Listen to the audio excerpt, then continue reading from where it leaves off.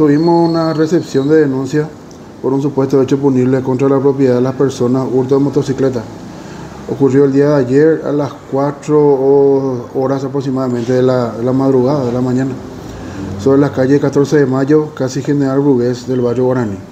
¿Estaba en la vía pública o dentro de un patio? Estaba dentro del, del domicilio. Este eh, relata la víctima supuestamente un individuo ingresó a la hora mencionada, este, logrando sustraer el biciclo que estaba dentro del, del- del domicilio. Exacto. Y en estos casos eh, se tiene eh, rastreo, algún circuito de cámara, ¿qué se sabe?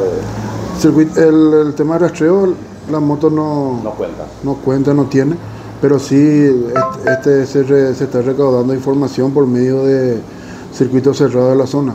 Personal técnico, investigación, automotores también de esta comisaría. Estamos abocados para poder dilucidar este hecho, este, para lograr este, atrapar a este supuesto autor.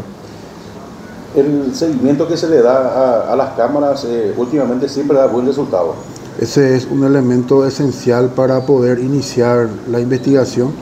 De acuerdo a eso se hace el seguimiento y casi el 99,9% da el resultado positivo de eso.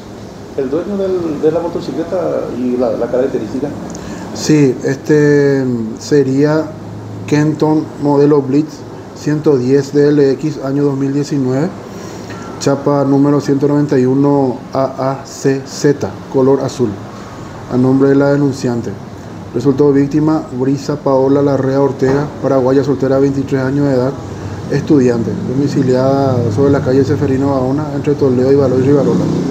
No es una moto nueva, pero igual nomás No, un no, perjuicio, ¿verdad? es un perjuicio, no, no hace falta que sea nueva ni, ni usada, pero ya es un perjuicio por el... es un hecho punible. ¿verdad? Claro que sí, es, como le digo, es un medio de transporte también para, para todos, para la gente en sí.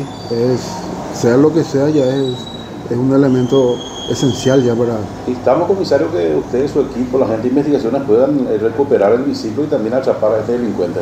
Sí, se, se hizo el procedimiento como, como corresponde, se, se, impartió, se impartió ya captura con las características del dicho biciclo y todos los corresponsables acá de del departamento de la Mambay ya tienen conocimiento sobre este hecho y estamos, estamos todos abocados a todos los hechos de, a este hecho de hurto que sucedió en esta comisaría.